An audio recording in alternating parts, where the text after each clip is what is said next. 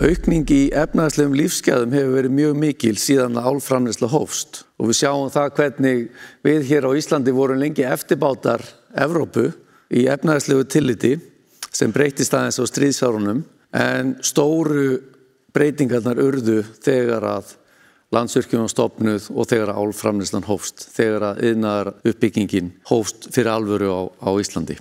Og þetta hefur skila miklu inn í, inn í þjóðabúið. Fjárfestingarnar, ég hef nefnt þær og eru þetta eiga sér ekki bara staði í álverunum, heldur líka í raforkukerfinu og víðar.